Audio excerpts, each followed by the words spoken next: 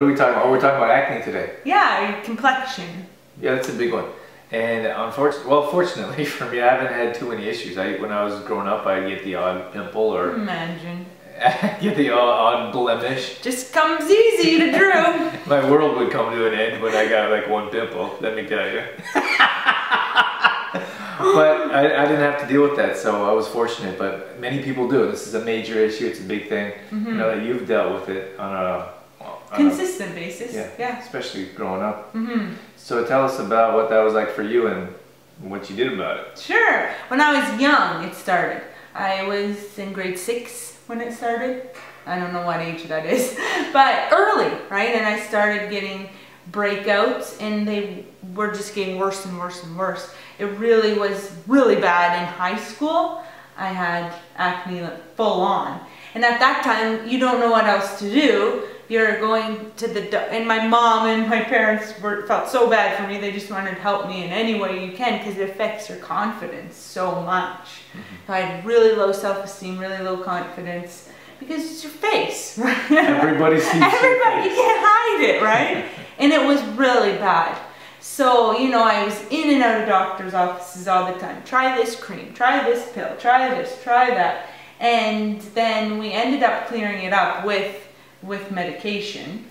But then, that was in high school. But then it never really was cured, I guess you'd say. Never got to the root of the issue. Never got to the root of the issue. So once I stopped that medication, it was for a period of time you could take this medication and then and then you couldn't take it anymore basically.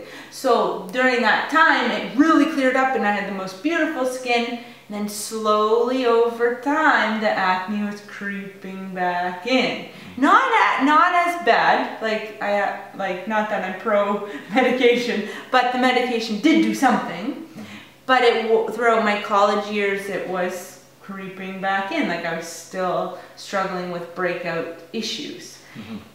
I thought once I was into my adulthood, I'm like, it, it should just go away. But throughout my 20s, again, I was I'm still dealing with these acne breakouts. And then more recently, I guess I started looking to internal instead of external ways to deal with my acne. And now I feel like I have learned, I guess, the root of the problem or how to deal with it more naturally. Yeah. Does that make sense?